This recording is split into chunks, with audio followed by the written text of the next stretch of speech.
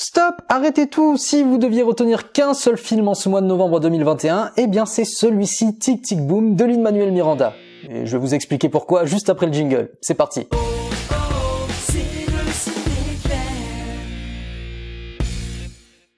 Hey, hey, salut à tous, bienvenue dans le Cinéclem, j'espère que vous allez bien et on se retrouve aujourd'hui pour une toute nouvelle vidéo critique. Et il s'agira du film Tic Tic Boom réalisé par Lin-Manuel Miranda et mettant en scène Andrew Garfield dans le rôle principal. Tic Tic Boom, le film biographique bien évidemment sur la vie de Jonathan Larson. Ouais, ce nom vous dit rien. Jonathan Larson est un compositeur de musique né en 1960 à Mount Vernon, aux États-Unis. Chanteur et multi-instrumentaliste, il passa toute sa vie à écrire des chansons et des comédies musicales dans le but de percer dans le milieu. Et en attendant le succès, Jonathan travailla pendant 9 ans et demi comme serveur au Moondance Diner. Il passa 8 ans à écrire une pièce du nom de Superbia, un récit rock futuriste qui remporta un petit succès mais pas à l'échelle planétaire. Pendant des années, Jonathan Larson a écrit et composé sans relâche et finit par obtenir le succès planétaire avec sa comédie musicale Rent. Mais malheureusement, Jonathan mourut subitement d'un anévrisme de l'aorte à l'âge de 35 ans, la veille de la première de son spectacle Rent à Broadway. Il connut donc le succès à titre posthume. Jonathan Larson a eu une longue traversée du désert entre sa pièce futuriste Superbia et son chef-d'œuvre Rent. Et entre les deux, il a écrit une autre comédie musicale, un récit autobiographique, l'histoire de sa vie, Tic Tic Boom. Donc maintenant, je peux dire la phrase suivante, de quoi parle ce film? Eh bien, Tic Tic Boom raconte l'histoire vraie de Jonathan Larson, âgé de 29 ans, il est à la veille de dire adieu à sa jeunesse et a peur d'avoir raté sa vie. Il travaille au Mood Dance Diner en tant que serveur et espère écrire la prochaine comédie musicale à succès. Et le premier gage de qualité de ce film est qu'il a été réalisé par Lin-Manuel Miranda. Je vais pas vous faire la biographie du monsieur, mais il a été révélé dans la pièce à succès Hamilton, vous l'avez vu dans le retour de Mary Poppins, cette année dans le film D'où l'on vient, et il a même composé des bandes originales de films comme Vaiana, Vivo et Encanto, la prochaine production Disney. C'est c'est. Donc le gars n'est pas un jeune premier. Passionné de comédie musicale, Lin-Manuel Miranda se lança le pari de donner vie à l'histoire de Jonathan Larson avec les traits d'Andrew Garfield qui pour la première fois de sa carrière donne de sa voix chantée. Ce film est absolument magnifique quoi, c'est une déclaration d'amour à Jonathan Larson, à son œuvre,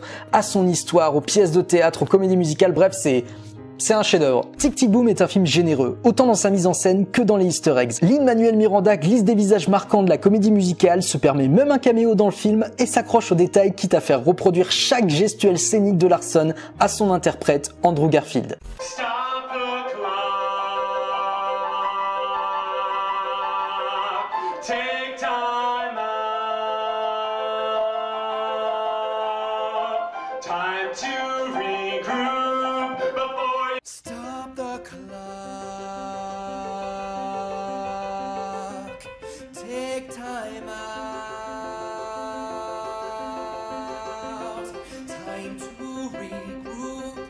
Oh, oh, oh, et quelle transition Parlons de Garfield justement. Enfin, Andrew Garfield, hein, pas le chat. Andrew Garfield est brillant dans Tic Tic Boom, ce qui est certainement le plus grand rôle de sa vie. Il est habité comme jamais par le spectre de Larson et porte l'intégralité du long métrage sur ses épaules. Et la question qu'on peut se poser, c'est est-ce qu'il s'agit d'une énième comédie musicale, d'une comédie musicale hyper chorégraphiée, hyper grandiose, hyper épique?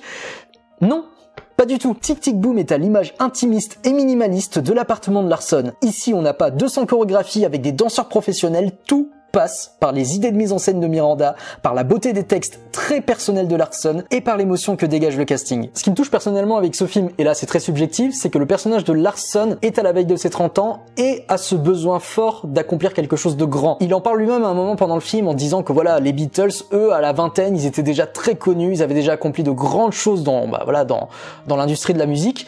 Mais pas lui. Tic Tic Boom se déroule au début des années 90. Le sida est bien présent, le monde tourne différemment et Larson est au cœur de tout ce trouble en cherchant sa place. Conclusion de tout ça, Tic Tic Boom est un drame. Un drame sociétal, un drame sur le temps qui passe et sur la personne qu'on veut être avant qu'il ne soit trop tard. C'est une des grandes comédies musicales de cette année 2021 et un des grands films de l'année tout simplement. Lancez-vous dès le 19 novembre sur Netflix dans la vie de Jonathan Larson avec un Andrew Garfield méconnaissable qui j'en suis convaincu vous bouleversera jusqu'au dernier acte. Un casting tous parfait fait des musiques de Jonathan Larson qui sont bien évidemment sublimes, Andrew Garfield est magistral dans le rôle principal. Et Lin-Manuel Miranda est un cinéaste passionné. Voilà, je pense qu'avec tous ces éléments-là, vous l'avez compris, tic tic boom, j'ai adoré. Et voilà, cette vidéo se termine là pour aujourd'hui, j'espère qu'elle vous a plu, n'hésitez pas à rejoindre mes réseaux sociaux qui s'affichent juste en bas, à vous abonner, à activer la petite cloche, à mettre un petit pouce en l'air et un commentaire pour me dire déjà si vous avez aimé cette vidéo, si vous comptez voir tic tic boom, si vous l'avez déjà vu, si vous avez aimé, si vous avez pas aimé, si vous aimez les comédies musicales, bref, dites-le moi en commentaire, je lis tout le monde et réponds à tout le monde, et moi sur ce, bah ben je vous laisse ici, je vous embrasse, je vous aime et vous dis à très très vite dans le Ciné Ciao